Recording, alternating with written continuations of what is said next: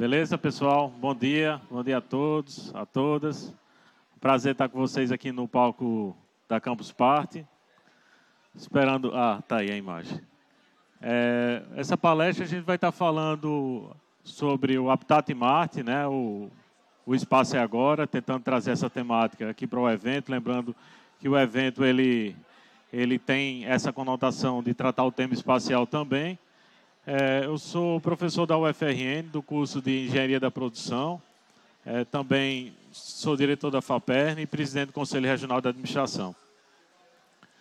Então, o grande desafio da, da nossa apresentação é estar trazendo assim a informação sobre essa estação de pesquisa chamada Habitat Marte. É, contando um pouco sobre essa história, em 2016, eu estava fazendo um pós-doutorado nos Estados Unidos e estava estudando sobre a questão de tecnologias, tecnologias limpas, tecnologias disruptivas. E tive chance de visitar a NASA. Fui na NASA com minha família também, minhas filhas, minha sobrinha, meu irmão foi lá nos Estados Unidos na época que eu estava lá, lá na Flórida. E uma coisa interessante foi observar o mapa da Flórida nessa, nessa imagem aí a quantidade de empresas na área aeroespacial que existe lá operando. Né? Então aqui nós temos o Cabo Canaveral aí do lado direito, né? E a partir da, do processo de criação da NASA, em 1959, é, desenvolveu toda essa economia aeroespacial no estado da Flórida. Né?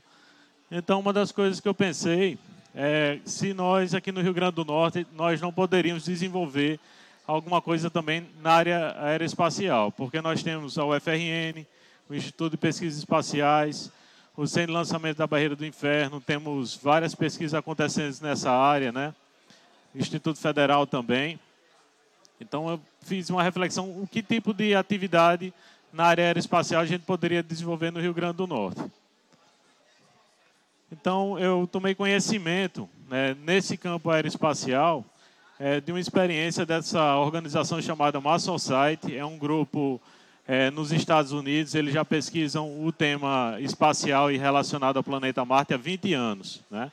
Eles organizam um encontro anual, esse ano é o 21 primeiro encontro deles.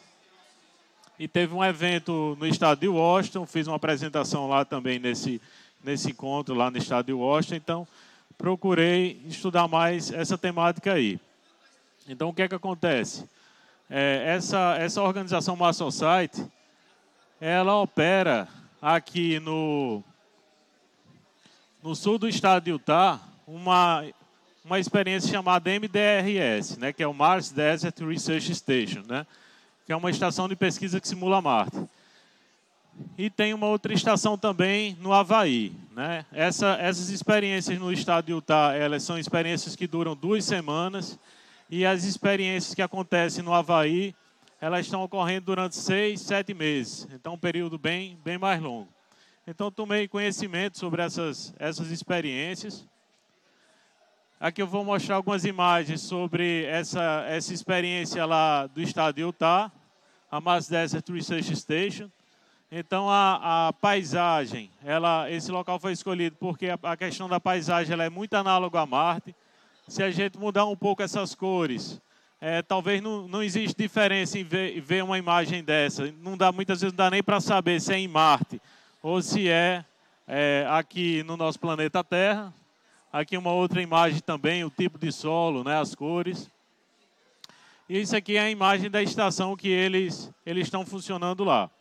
Essa estação ela já está na, na sua missão de número 192 e todos os anos eles abrem aplicações, pessoas que quiserem participar lá dessa experiência durante duas semanas, você pode se candidatar no período certo e aí fazer parte de uma dessas equipes que vão estar na Desert Research Station. Né?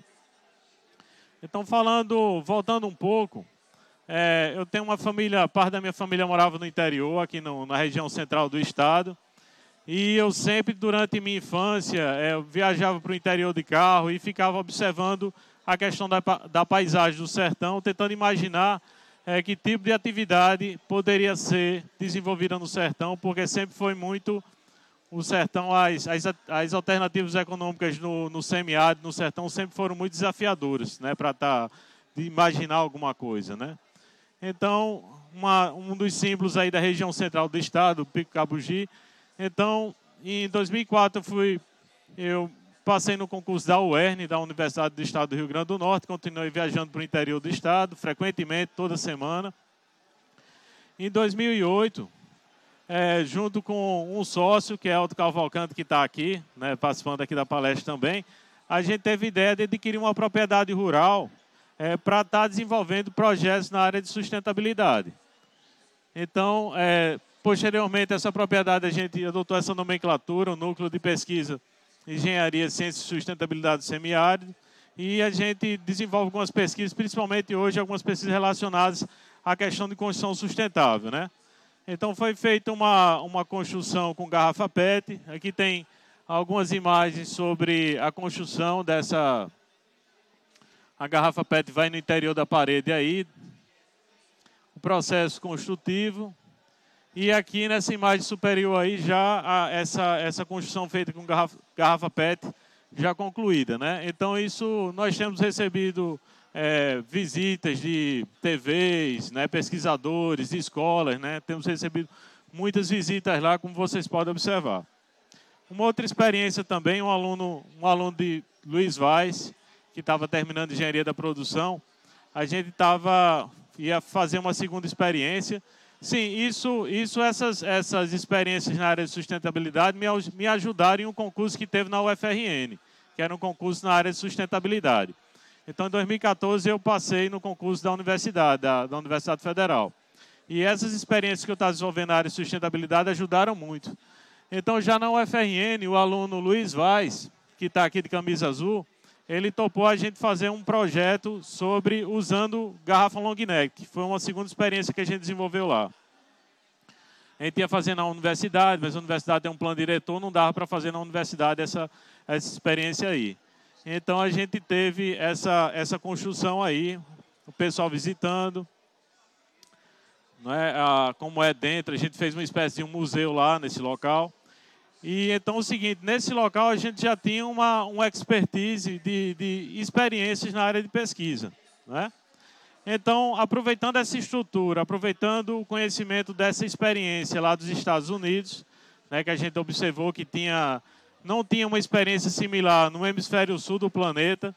A gente teve a ideia, então, é, de aqui no interior do estado, aproveitando essa estrutura, a gente criar uma, uma estação de pesquisa sobre Marte, é, reproduzindo alguns dos procedimentos que são utilizados nessa estação de pesquisa é, lá nos Estados Unidos. Né?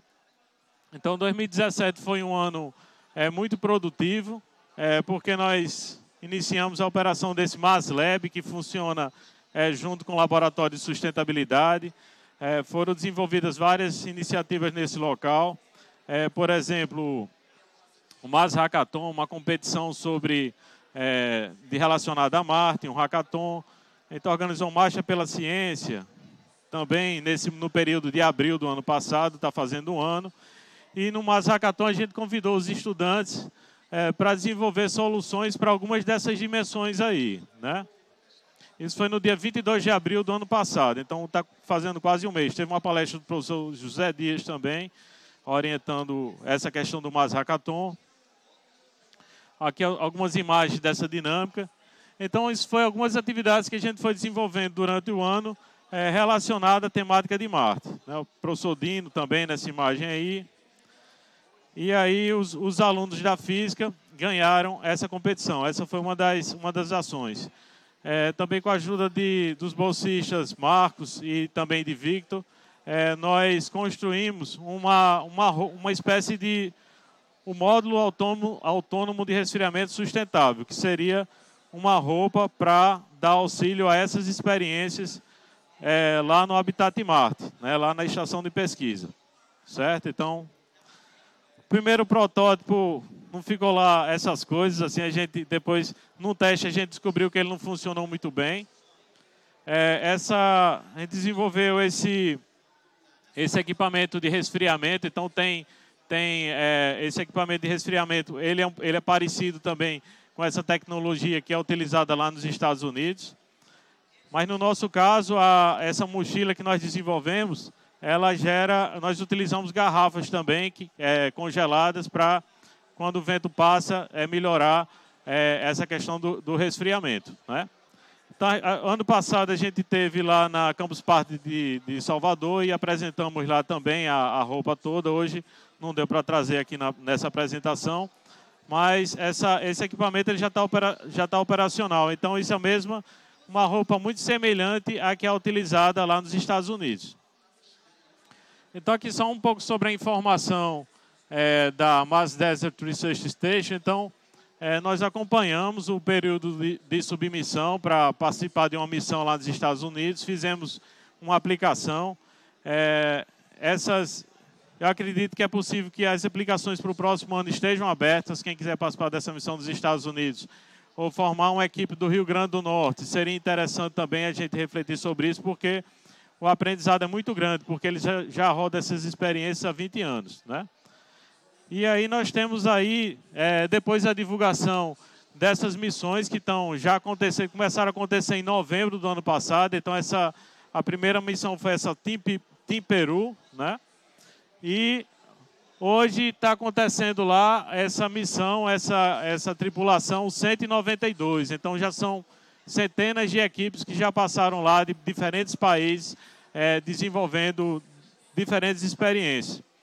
Então eu nessa submissão, então eu fui contemplado para fazer parte dessa equipe. Eu fui convidado, recebi um e-mail em setembro, convidando para fazer essa parte que é, tinha três estudantes peruanos e um estudante americano. Eu fui convidado para fazer parte. Aqui é a imagem da equipe, né? É, aqui algumas imagens de algumas atividades externas que foram desenvolvidas lá. A preparação, vocês vejam que a roupa ela não é muito, não é muito diferente exatamente a mesma roupa que a gente utiliza aqui, é, é essa roupa de lá. E é, uma coisa interessante também, eu deixei essa imagem aqui, o seguinte, é, na Estação Internacional Espacial, é, os astronautas eles fazem três horas de exercício por dia, né, para evitar a perda da perda óssea, né? Então eu comecei uma preparação física também lá, também na missão procurei continuar correndo. Quando voltei também, então eu acho que eu já perdi um peso também a partir dessa, dessa própria dinâmica também de preparação aí da, das missões. Então aqui são algumas imagens, é, desde atividades de pesquisa, atividades de alimentação, atividades diversas que são realizadas dentro da estação. Isso lá no, nos Estados Unidos. E nós, durante esse período, então, a InterTV Cabugi, a Globo, ela fez uma, ela mandou jornalistas lá, lá na, nessa na estação. Uma equipe de Nova York foi lá para fazer uma matéria. A jornalista Michelle Ricon também tinha feito algumas imagens aqui. E o resultado disso foi que passou uma reportagem é, no Fantástico, acho que foi 12 de novembro, foi veiculada uma reportagem no Fantástico divulgando essa experiência aí. Aqui é, umas, algumas imagens da câmara de descompressão que existe lá, que nós temos os o que eles chamam ATV, All Terrain Vehicle, né, o, o veículos para todos os terrenos que eles, são, que eles utilizam lá. E aqui uma imagem, uma última imagem da, da equipe lá em frente à estação de pesquisa. Então, com base nesses aprendizados, isso, isso oportunizou a gente refletir um pouco sobre como é que seria essa questão desse, dessa estação de pesquisa aqui no Rio Grande do Norte. Então a gente imaginou esse nome aí, Habitat Marte. Aqui é uma imagem do da região de Pedra Preta, na região central do estado. Então uma, uma, uma informação importante é o seguinte, que diferente lá do, do, do deserto lá dos Estados Unidos, lá de, lá de Utah, é que a gente procura esclarecer que nós estamos no semiárido, né? Nós não, nós não estamos numa região árida, desértica, né? Nós estamos no semiárido. Então, o que é que significa? Significa que essa, essa mesma paisagem que a gente está vendo aí, se a gente for hoje lá, agora depois de várias desse período chuvoso que está ocorrendo, essa paisagem mudou completamente. Ela vai estar tá completamente verde, né? Ah, os arbustos também vão ter se recuperado. Então, isso é interessante a gente informar isso, porque hoje é, o, o, a paisagem marciana que a gente, tá lá, tá, que a gente tem lá está bem verde, né? A paisagem, né? Está um pouco diferente né? do que a gente pode observar. Então aqui é, tem uma imagem da, da estação de pesquisa, como é que é o, a paisagem do lado de fora.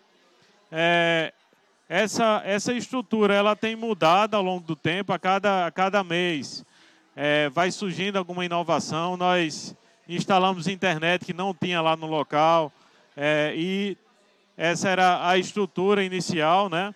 Essa sala de estar junto com a questão da cozinha também. No primeiro modelo a gente não, não ia ter banheiro, então foi evoluindo, foi, foi tendo umas melhorias nessa infraestrutura aí.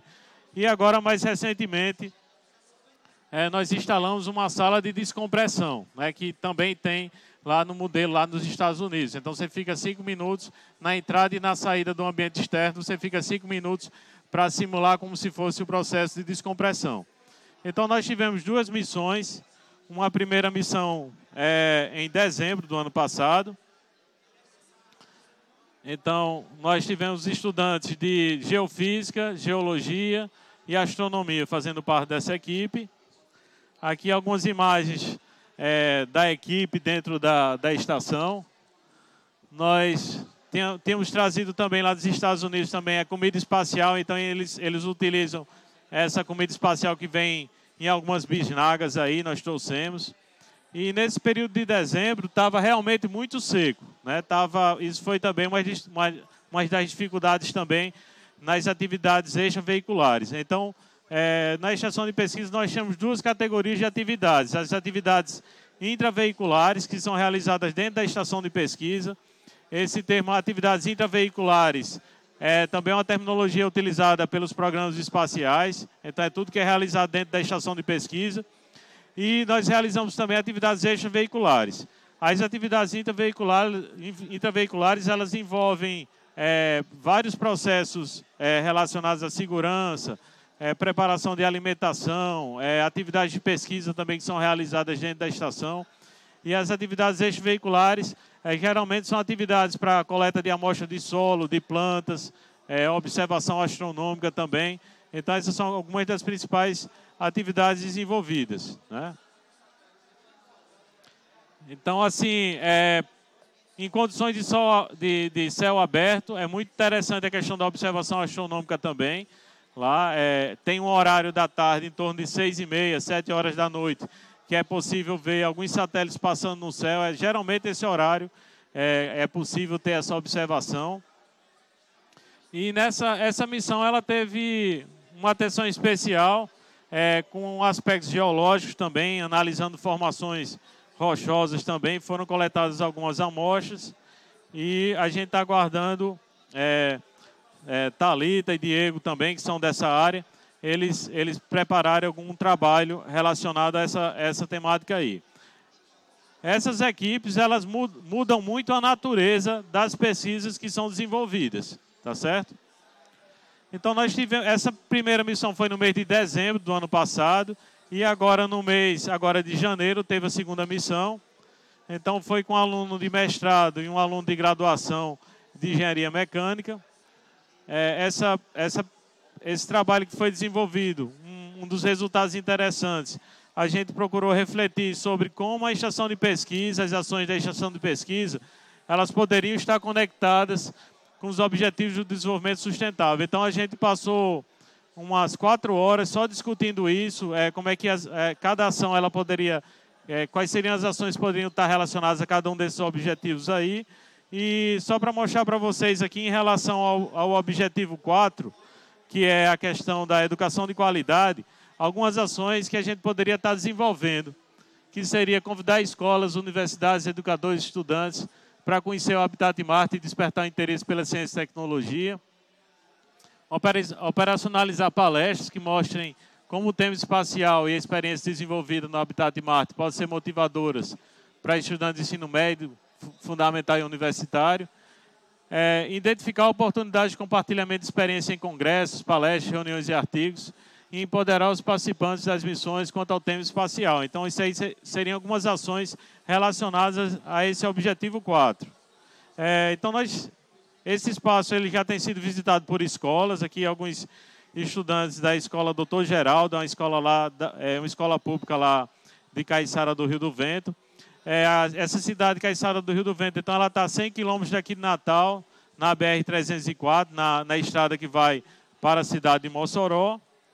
E, então nós tivemos professores, estudantes, então é interessante que é, quando a gente recebe esses, os estudantes e professores, ele vê que a ciência e a tecnologia não, não é uma coisa distante, que é, é necessário aproximar esses conhecimentos, esses conhecimentos e tra, tra, é, transformar de uma maneira cada vez mais, mais prática e aplicada. Né? Um outro objetivo também que foi discutido foi relacionado à questão do objetivo 6, a questão da água potável. Então, algumas ações, assim, foram imaginadas várias ações, como é, relacionadas à questão de comunicação e educação sobre a economia de água. Então, é, se a gente imaginar uma estação de pesquisa em Marte, a estação internacional, é, ou, ou a, a, estação de pesquisa Habitat de Marte, é, vai existir dificuldade é, da disponibilidade de recurso hídrico, e aí você tem que ter essa, essa reflexão sobre isso. No caso da Estação Internacional Espacial, é, 90% da água ela é reciclada, né? A urina é reciclada, a água que é utilizada no banho, essa água ela, ela passa por tratamento e ela é reconsumida, né? E então esse, esse é um conceito importante, é uma reflexão importante que a gente faz é, na nossa proposta do Habitat em Marte, é ver como tecnologias que estão sendo imaginadas para Marte, elas podem ser aplicadas no contexto do semiárido, no contexto é, de regiões pobres também, né? regiões com dificuldade, não necessariamente pobres, mas com dificuldade de disponibilidade de recursos. Então, isso é uma temática interessante. Então, é, um carro-chefe, assim, em termos de, de, pesquisa, como nós podemos imaginar a criação de, de habitats autossustentáveis. Então, que ele tem algum nível de reuso da água, é, da água servida. Então, essa água, ela, ela seja utilizada a filtros para tratar essa água, essa água possa não necessariamente voltar ao consumo, mas que essa água possa ser utilizada para algum microsistema de agricultura, né, ou, ou, ter outros usos, né? Ou nesse conceito de habitat autossustentável você possa imaginar também é, gerar sua própria energia, né, e reciclar o resíduo ou dar novos usos é, para o resíduo que é produzido na estação. Então é toda essa discussão relacionada à questão da sustentabilidade. Então eh, relacionado com a questão da água, então a gente pensar também sobre procedimentos e técnicas, tecnologias de tratamento e armazenamento de água, é, habitats e comportamento e as próprias atividades também de manutenção das instalações. Então, são algumas ações que a gente está pensando relacionadas a esse tema de água. Então, nós pensamos ações relacionadas aos 17 objetivos e, por exemplo, um, a gente acredita que um indicador de sucesso para a estação seja os resultados acadêmicos que as pesquisas que são desenvolvidas lá elas possam gerar. Então, nesse caso dessa segunda missão, é, nós vamos estar apresentando é, resultados, por exemplo, no Congresso da FAPERN, que é agora nos dias 19 e 20, na próxima semana. Vocês estão convidados também para participar do Congresso FAPERN. É, vamos estar apresentando também na, na International Conference of Sustainable Development, que é o, a Conferência Internacional de Desenvolvimento Sustentável, que é em Nova York, e também em um evento que é na cidade de Bremen, que é o International Astronautical Congress, né? que então a gente tá, vai estar tá apresentando esses resultados nesses encontros e também gerando oportunidade para é, aplicação de artigos também para jornais. Então a gente acredita que esse é um resultado muito importante que a gente pode estar tá, é, gerando até para dar mais respaldo a essa iniciativa. Então, só para mostrar nesse próximo slide aqui, é, isso foi um encontro em 2016, é, no Irã, e a temática que eles estavam discutindo era justamente.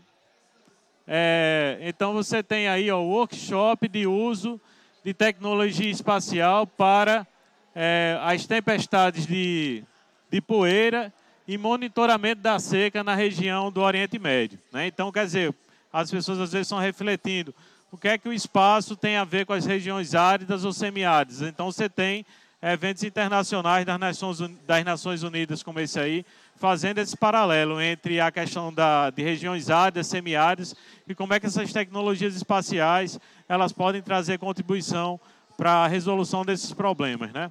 Então isso é um exemplo.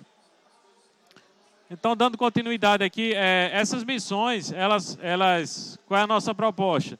É que no primeiro ano de funcionamento, a gente está no nosso primeiro ano, essas missões ao invés da, é, da experiência dos Estados Unidos, que são duas semanas, a nossa proposta é que no primeiro ano essas missões elas durem um final de semana, ou 48 horas, porque a gente está na fase de teste. Então, em 2017, essas missões elas vão funcionar dessa forma, certo? Um final de semana. Então, ela começa no final da tarde da sexta-feira e termina no final da tarde do domingo. Esse é o formato. Então, nós temos um calendário, temos um calendário de missão já estabelecido para o ano todo. Então, nesse momento da chegada aí, é, só mostrando a preparação da reforma de um, da preparação do sistema de coleta de água e de, da instalação da, da câmara de compressão. É, essa calha não tinha, então a gente, a questão do aproveitamento da água de chuva também, um teste, como foi que ficou. É, o, os estudantes participando também desse processo de criação. E aqui é uma imagem já que o morador Duda mandou essa imagem de lá, mostrando como é que tinha ficado depois da, da preparação. Né? Então a câmara de descompressão ela fica ali do lado. É, no nosso caso, por, por ser uma, é uma propriedade privada, nós, não, nós temos dificuldade de conseguir apoio também recursos públicos. Então, muitas vezes o que a gente consegue são algumas sucatas da universidade, tá certo? Então esse REC, por exemplo, era uma sucata da universidade estava disponível, a gente conseguiu para fazer a questão da, desse módulo é, de, de, de, descompressão. Então, nós temos aqui a, informações sobre algumas datas das missões. Então, por exemplo, a próxima missão agora é no, no dia 27 e 28, agora de, no final do mês. E aí nós temos missões distribuídas até o final do ano, certo? Então, essas, essas missões, elas. Que tipo de atividades são desenvolvidas nessas missões? Então, depende muito de quem faz parte da missão. Então, nós, de repente, nós podemos ter um aluno do ensino médio, podemos ter, de repente, um, um estudante da área de agronomia fazendo parte, ou da área de tecnologia da informação, ou de biologia. Então, essas pesquisas elas vão depender muito da proposta das pessoas que estão participando das missões. Então, a, a estrutura da estação de pesquisa, ela procura dar apoio para essas atividades que são desenvolvidas na estação. É?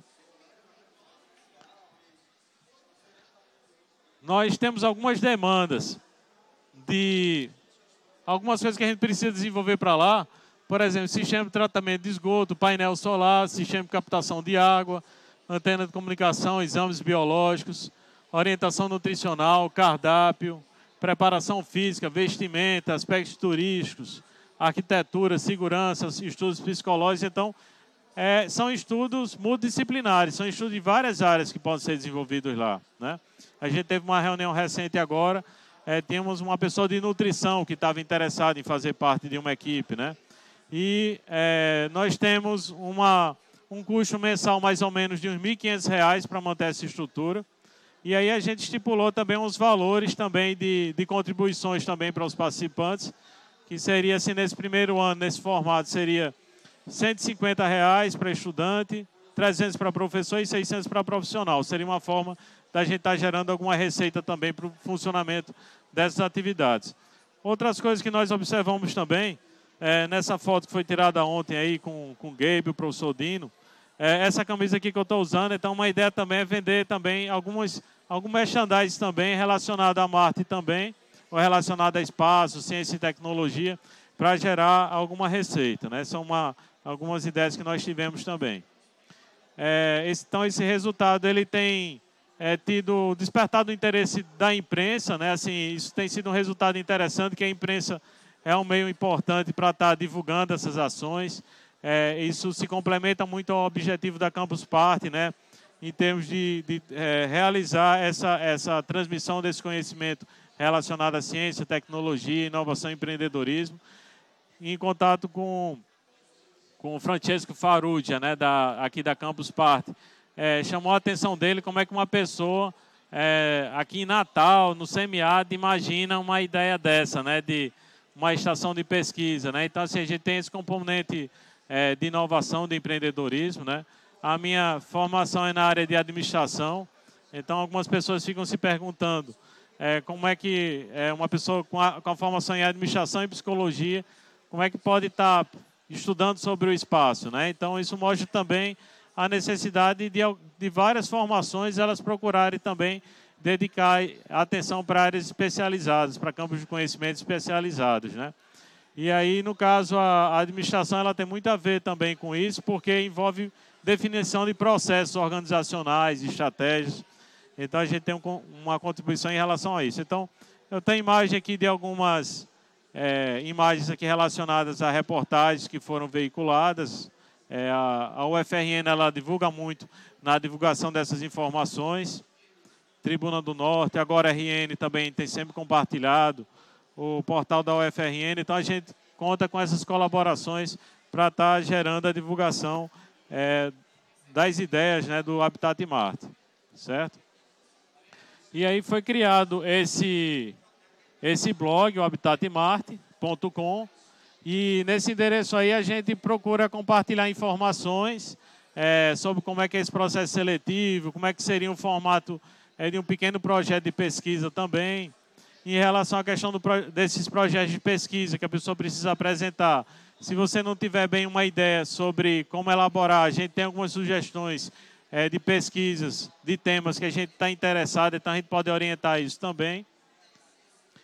E os relatórios das missões estão aí também no blog, fotos, né? então tudo isso é interessante. Então, o que é que acontece? No, título da nossa palestra, a gente tem, trouxe essa, esse, essa ideia Habitat Marte, o espaço é agora, porque é, mais do que nunca, nesse momento atual que a gente está tá vivendo, é um, é um momento de emergência, né, de, é, de fortalecimento dessa economia aeroespacial no mundo. Está existindo muita atenção em relação à questão dos satélites, missões extraplanetárias. E um dos, uma das pessoas que tem liderado esse processo é o Elon Musk. Né? O Elon Musk ele tem uma empresa chamada SpaceX.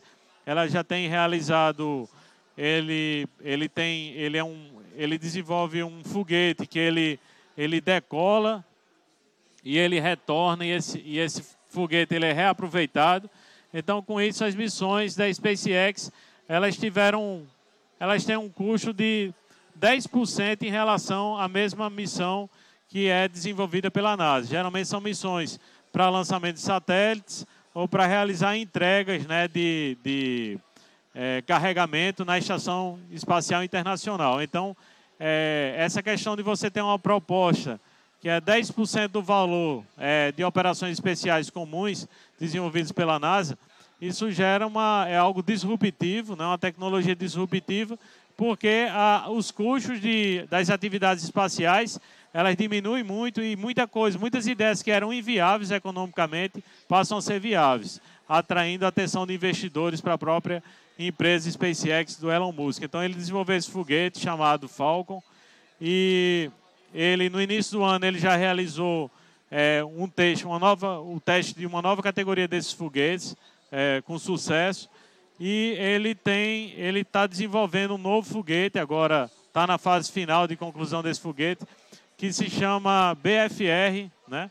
É, que é Big Fokker, Big Fokker Rocket, né? O foguete grandão fuderoso, né? A tradução disso, né? Mas eles estão mudando essa terminologia, eles vão chamar Big Falcon Rocket, né? Então esse Big Falcon Rocket, o, o BFR, então é uma é uma imagem, é uma aeronave, é a maior aeronave que já foi construída no planeta Terra, né? E isso, isso ele, ele apresenta algumas ideias assim de curto prazo. Então, por exemplo, 2022, o pouso duas, das duas primeiras missões não tripuladas a Marte, tá certo? E em 2024, as primeiras quatro naves tripuladas para a construção da primeira colônia. Então, isso na visão dele, tá certo? E uma coisa interessante também, é, revolucionária também que ele está propondo, é que pela primeira vez nós vamos nos tornar uma espécie multiplanetária. Então, num período de 10 anos, nós vamos deixar de ser seres é, terráqueos e nós vamos ser seres multiplanetários. Então, uma espécie multiplanetária. E dentro, talvez, de algumas décadas, nós vamos ter assim, as primeiras crianças nascendo em Marte. Então, assim, que tipo de impacto isso traz para o nosso mindset, né? para o nosso modelo de pensamento? Imaginar que nós não vamos habitar apenas mais o planeta Terra, mas nós vamos poder estar vivendo em dois planetas diferentes. Então isso é uma mudança muito grande assim mental. A gente ainda está é, pensando sobre os impactos é, dessa ideia. Né? E aí, por exemplo, o, aqui é uma imagem do tanque de combustíveis é, desse foguete que está sendo desenvolvido. É, então, é o seguinte, deixa de ser um tema de ficção científica, é, não é mais ficção científica, é, não é mais ciência básica, então é, isso passa a ser um tema de engenharia, um tema de engenharia que procura de, de, definir é, quais são aspectos técnicos, requisitos são necessários para construir esses equipamentos que fazem com que o homem ele chegue a Marte. Né? Então, é, é, é para mostrar que não é, não é ficção científica, então, é, teste de, de, de, de, é, de motor também. Então, tudo isso, tudo isso está sendo testado, avaliado, então não é mais, é uma coisa plausível e dentro de pouco tempo, de poucos meses, é, a gente vai ter chance de ver, talvez ainda esse ano, o, te, o teste desse BFR, né? Então aqui nós temos uma imagem em termos de comparação desses foguetes. Esse foguete que foi lançado no início do ano foi esse, esse modelo aqui do Falcon. E o BFR, BFR é esse modelo aqui é, de 106 metros, né, que seriam esse, esse, seria esse foguete aí que seria utilizado para é, viagens extraplanetárias. Né? E aí um conceito de artista sobre como é que seria esse início do, do povoamento do planeta Marte. Um conceito aí também de um outro artista. E aí, essa questão da, do crescimento da primeira cidade. Então, vários países estão interessados nessa questão do povoamento de Marte. Nós temos, por exemplo, os Emirados Árabes, com um projeto chamado 2117, que eles, então, eles, esse projeto foi lançado no ano passado, 2017, e 2117 se refere, se refere então a um, a um planejamento estratégico de 100 anos, então, para ter uma cidade funcionando em Marte, né? Então, isso é importante falar isso porque você tem várias agências internacionais é, realizando investimento nessas ideias é, de pesquisa extraplanetária, é, de ir para Marte, realmente, quem vai chegar primeiro, quem é que vai chegar depois, tecnologias de apoio, né?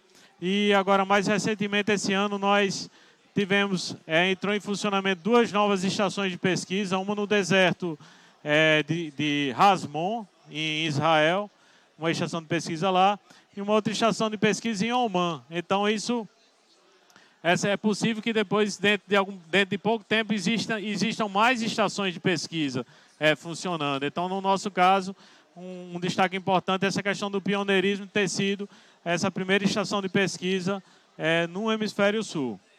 E eu já estou me aproximando da conclusão da minha palestra. Então, nós estamos refletindo também sobre a construção desse, de um cluster aeroespacial. Né? Esse slide foi trabalhado pelo professor Álvaro Oliveira. Nós tivemos uma reunião na semana passada na, na Federação das Indústrias, é, que nós estamos é, formatando né, a criação de um fórum aeroespacial norte-rio-grandense. Né? Professor Coronel Almeida, né, é, professor Gilvan da UFRN, professor Álvaro Oliveira, Irani, é, professor Touro. Então, eram algumas pessoas que participaram dessa primeira reunião aí. E então nós, é, a partir do trabalho desse fórum que está sendo criado, é, nós estamos refletindo sobre é, como é que a gente pode faz, fazer para ocorrer o funcionamento da hélice tripla, né? É, ter a participação de governo, universidade empresa em relação ao fortalecimento dessa, dessa economia aeroespacial aqui no Estado. Então, algumas linhas de sustentação que a gente verifica é a possibilidade do turismo aeroespacial, porque nós já temos uma barreira do inferno aqui bem próximo da gente, isso pode ser potencializado, temos produtos, se você chegar lá querendo comprar um souvenir é, relacionado ao espaço, você não encontra, é diferente lá da, do Kennedy Space Center, lá na Flórida, que você tem é, milhares de produtos para comprar lá, né, para levar de lembrança. Então, essa questão do turismo, a cidade ela tem uma vocação para o turismo. Isso, o turismo aeroespacial ele pode ser fortalecido. Isso é uma base sustenta, uma base, um pilar importante. Um outro tema importante é a questão do empreendedorismo na área aeroespacial também. É, desde startups, né, de, de ideias que surgem a partir de estudantes e professores é, com forte apoio da universidade e até também tentar captar investimentos, é, empresas, trazer empresas aqui para o Estado, aproveitando a ideia dos parques tecnológicos que a gente que estão em operação aqui, né, incubadoras, né? Então, turismo, empreendedorismo, a pesquisa aeroespacial muito ligada à universidade, né? Então, isso aí são alguns alguns pilares para a questão do funcionamento dessa economia aeroespacial que a gente está imaginando. Então, a gente já tem uma agenda dessas reuniões e aí a gente, quem tiver interesse, pode depois a gente pode estar compartilhando mais informações sobre esse fórum aeroespacial. A gente vai estabelecer um planejamento né, para ver é, os resultados, ver como é que isso pode estar se tornando realidade. Então, só a questão do funcionamento do fórum já é uma coisa importante também para a gente procurar é, tornar prática, práticas essas ações aí. Certo? Então, já estou encerrando a minha palestra. Acredito que exista um tempo também para algumas perguntas aí, o pessoal da, da produção. É, aqui está o meu contato, meu e-mail, juliafdrezenda.hotmail.com. Meu WhatsApp também é esse aí, então vocês podem estar tá mandando algum WhatsApp, é, fazendo alguma pergunta também sobre é, o que a gente está propondo aqui, ou trazendo alguma ideia também é, de pesquisa. Então, essas primeiras pessoas que estão participando da, dessas missões na estação de pesquisa, elas estão sendo pioneiras, certo? Então, por exemplo, nós não temos ainda nem nenhum estudante do ensino médio participando. Então, de repente, esse estudante do ensino médio que vá para uma missão vai ser o primeiro é, estudante, é, o primeiro estudante do ensino médio tendo essa experiência como astronauta, né? Certo? E aí a gente é, não é necessário estar ligado com a universidade, pode ser pessoas que estão no mercado também, né? É, já pessoas já formadas podem estar fazendo parte dessa, dessas equipes, tá certo? Então, no, nesse endereço Habitat Marte tem todas as informações necessárias e aí a gente pode prestar mais esclarecimentos também. A gente convida que escolas assim programem visitas também, professores vejam visitas lá para o local. A gente só está um pouco de dificuldade é a questão dos acessos, porque é numa, como é num local mais isolado, é agora com as chuvas as, as estradas estão bastante ruins, então, então assim, ônibus não tem como, a não ser que seja micro-ônibus ou ônibus escolar aquele ônibus escolar para poder estar tá chegando lá, certo? Mas muito obrigado pela atenção de vocês me coloco à disposição para alguns questionamentos aí. Obrigado.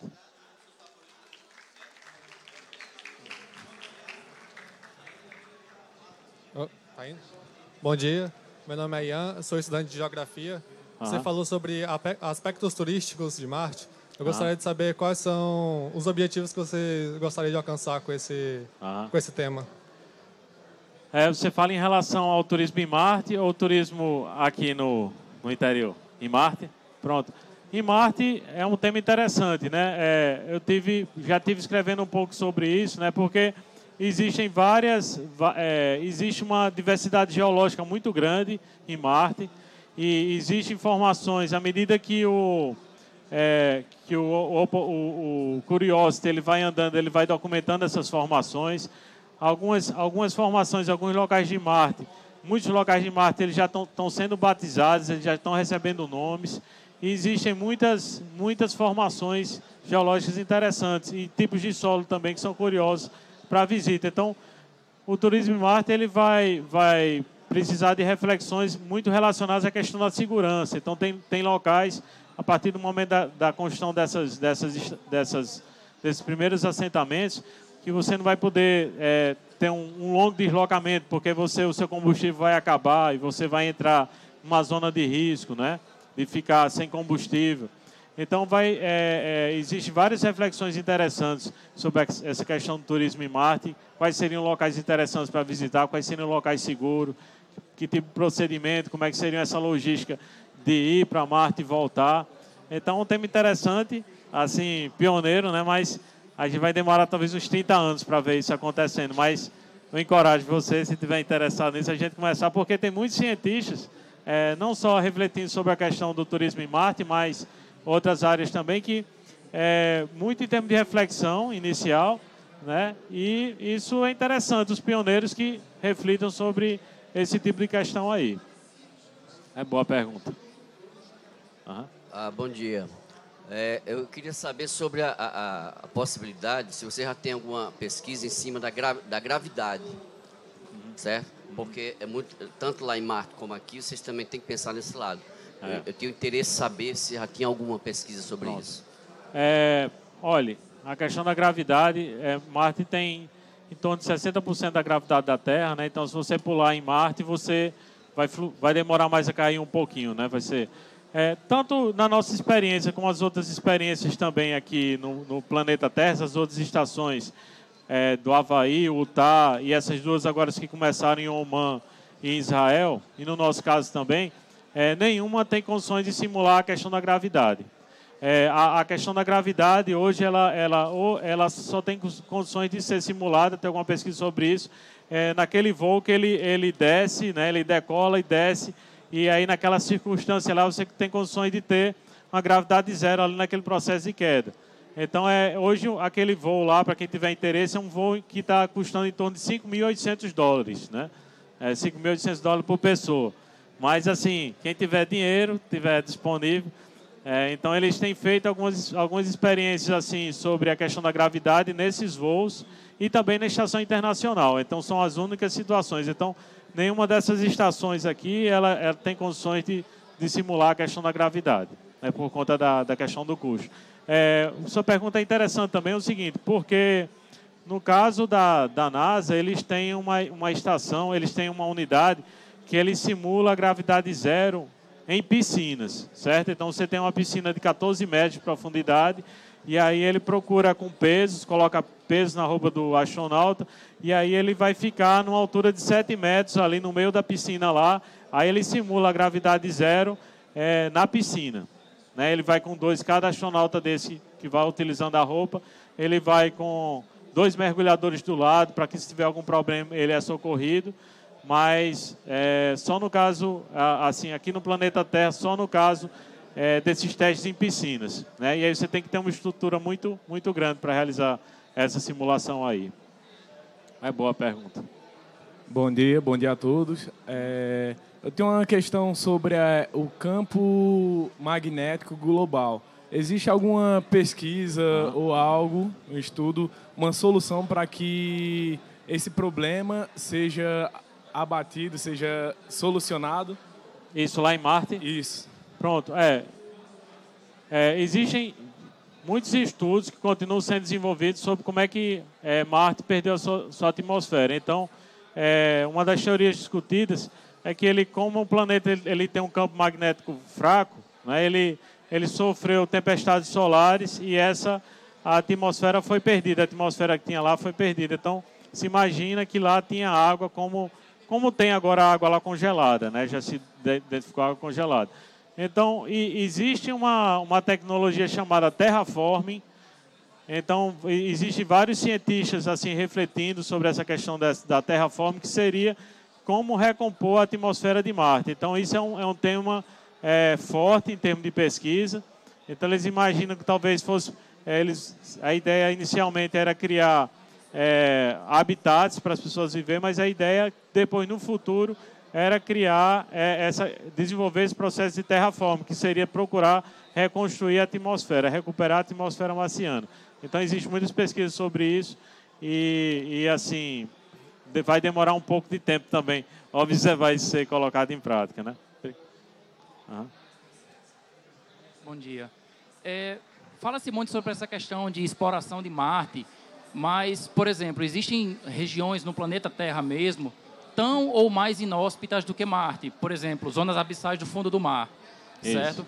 Por que, que existe tanto esse, como eu posso dizer, romantismo de se explorar um negócio que é tão longe como Marte e uma coisa que nós temos aqui no nosso planeta que poderia ser uma solução para muitas das coisas que, muitos dos problemas que seriam resolvidos em Marte, quase não se fala. É, é uma pergunta interessante.